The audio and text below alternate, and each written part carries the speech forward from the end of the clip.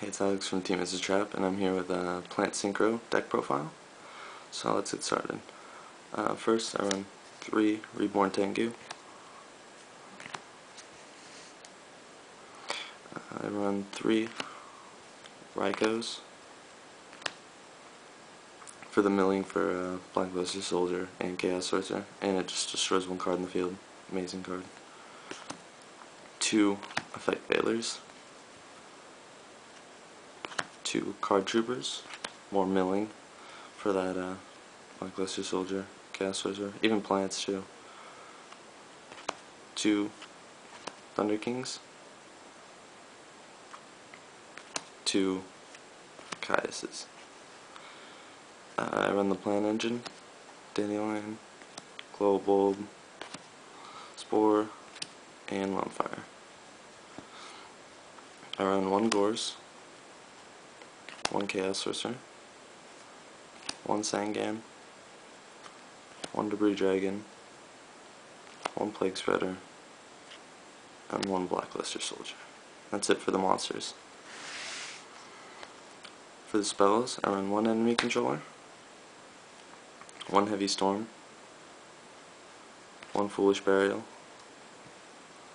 one Mystical typh Space Typhoon, one Scapegoat, Monster Reborn, Dark Hole, one for one, amazing card, so broken, Mind Control, Pot of Avarice, and that's it for the spells. Onto the traps, I run one Call the Haunted, one Solemn Judgment, two Solemn Warnings, one Torrential, and one Mirror Force. And that's a total of 41. 24 monsters. Now on to the extra deck. Uh, one Formula Synchron. One uh, Leviathan Dragon. One Utopia. One Armory Arm